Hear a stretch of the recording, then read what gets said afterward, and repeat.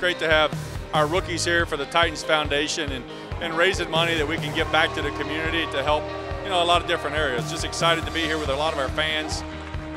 This is going to be one of about three events that we do that we think are going to be signature events. They're going to really elevate and help people understand what the Titans are all about. I'm not even being biased. This is the best fan base in the in the world.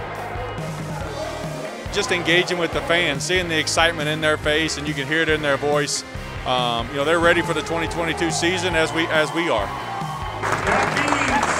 the history of us as the Titans, this is the biggest fundraiser we have ever had.